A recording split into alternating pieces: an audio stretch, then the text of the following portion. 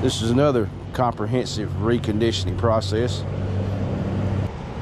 When we do a reconditioning for dealerships or the public, there are two options, but most folks actually choose the paint sealant over wax. Both do protect the paint, but the paint sealant is in most cases a 24 month or longer lasting polymer coating.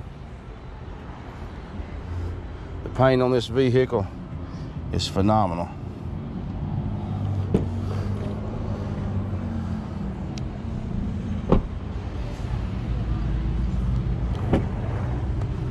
The interior looks like brand new.